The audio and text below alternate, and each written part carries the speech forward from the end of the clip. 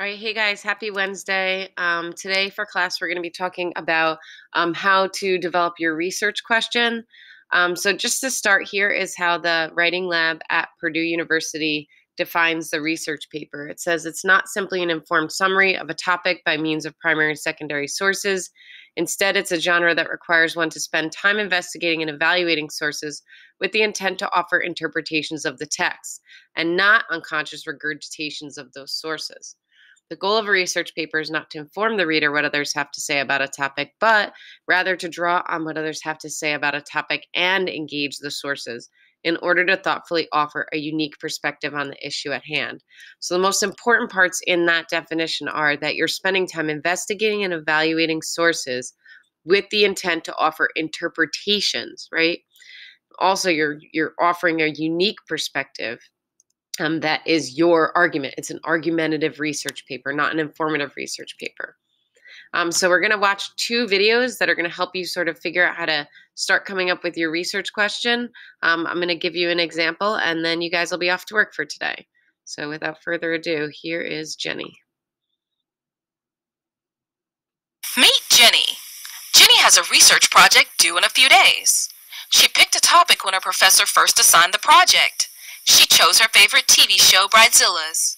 It seemed like a good idea, but now that she's doing her research, she's having a lot of trouble finding sources. She's freaking out. Jenny's problem started with her mental model of the research process, which she sees as a one way street. Like many students, Jenny thinks that once a project is assigned, she should pick her topic right away. Then she can move on to finding sources and reading through them. And once she has all her sources, she can start writing her paper. But the research process is a lot messier than that, and picking your topic is intertwined with finding and reading sources, and writing and editing your paper. Picking your topic is research. When you first pick a research topic, it isn't set in stone, it's just an idea that you test with some exploratory research. If it looks good, you find and read some more sources.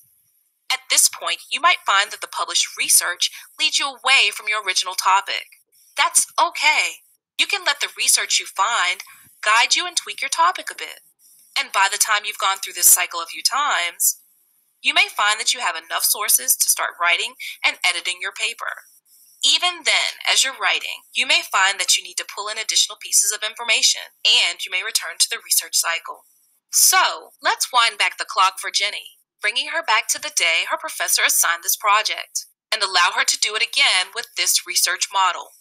Again, Jenny picks a topic that is interesting to her the reality TV show Bridezillas.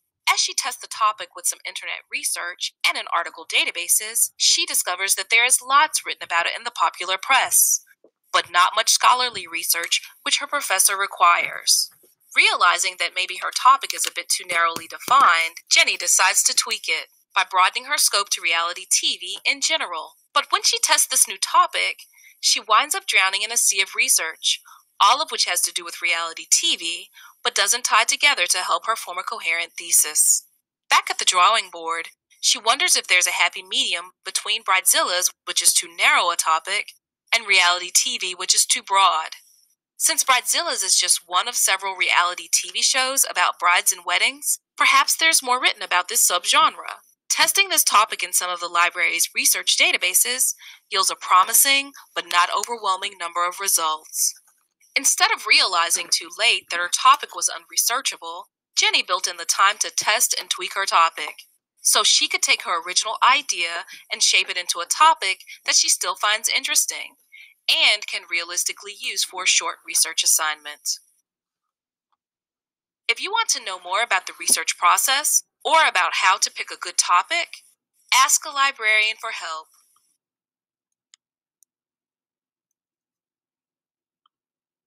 Okay, so the most important piece in that um, entire video, I think, is thinking about this like circle that's there. So, research, choosing a topic, um, is about picking a topic, testing the topic, finding and reading sources, um, and then tweaking the topic again, and then testing it and finding reading sources. And like, you really need to be flexible with what your topic is. But I don't even want you to think of it as a topic.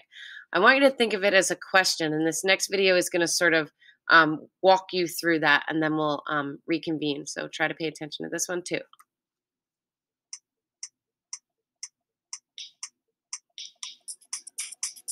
What makes a good topic for a paper? Where do I find a good topic? First, let's throw out the whole idea of topic. The word topic really applies better to a report or a list of facts. What if you could create something that is actually interesting and meaningful to both your professor and to yourself? What if you could learn something that you didn't know before? Let's replace the word topic with the word question or research question. This implies a quest for something. It's more than just a subject or a topic. It implies that you may or may not find a precise answer, that you are involved in an investigation, following the clues and weighing the evidence. What makes a really good research question? Let's start with a regular old question and see if we can figure this out. Do stricter gun control laws save lives? As far as I can tell, this question has only two possible answers yes or no. You might be able to construct some pretty good arguments for one side or the other, but there's still basically only two sides to this coin. Not a lot of active pursuit going on, so let's try again. Why should the United States increase gun control? Well, this seems to be a little better, but I have a feeling that you either already know the answer or have selected what you believe to be the best answer. Plus, what kind of evidence are you likely to find to answer this question? Let's try again. How does the media influence attitudes towards guns and gun control? This question does not have a yes or no answer. It's very open ended and it does not try to lead me into an answer. I see possibilities here for investigating the nature of social media, peer pressure, and the like. But there are still problems with this question. When you say attitudes, what are you talking about? The attitudes of any person? Old people? Young people? All nationalities? What about media? Do you mean newspapers, news channels, Twitter, Facebook, or blogs? That's a lot of territory to cover in a single paper. What about this? How does social media influence teenagers' attitudes towards gun control? Personally, I feel more comfortable with this question, and here are a few reasons why. A. It's not oversimplified. There is no yes or no answer. B. I believe you can locate some evidence, social, psychological, statistical, that would help answer this question. C. It's an interesting and relevant question that you might already be following in the news and on your social media channels. And D, this question is manageable. I believe you could answer it within the confines of the assignment.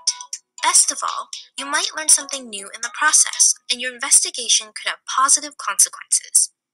Keep in mind that in many cases, your research question will evolve as you do your research. Stay flexible and give yourself time to reevaluate your question as you go. Finally, make sure your question fulfills the requirement of the assignment. And always remember that you are engaged in research to find answers and not to reinforce opinions or ideas that you already have.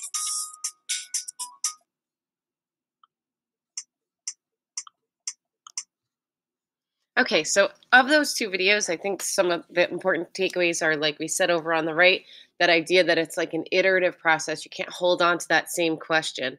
And also then this checklist, right? Thinking about that it can't be oversimplified. You need to be able to find evidence, whether that's statistical evidence, anecdotal evidence, scientific evidence. Um, it needs to be interesting and relevant to you and also something that's manageable.